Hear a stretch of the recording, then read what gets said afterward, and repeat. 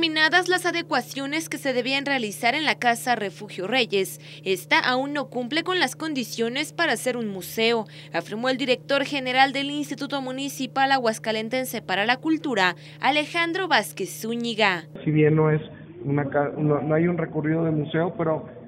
hay que ser sinceros, aunque se hubiera abierto como recorridos para museos, eh, las condiciones del inmueble no son propias, ni siquiera es un museo que recorres en 10 minutos y que no tiene el bagaje a la altura, creemos, de, la propia figura de, de don Sofío Reyes.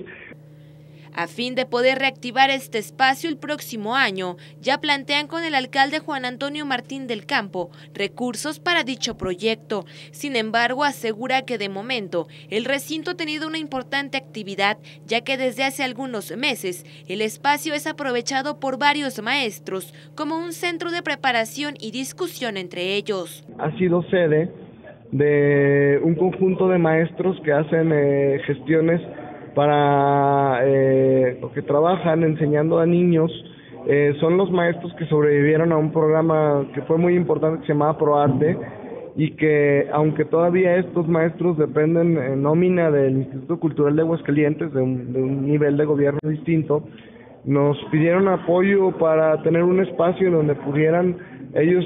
tranquilamente y en un espacio muy acotado para ellos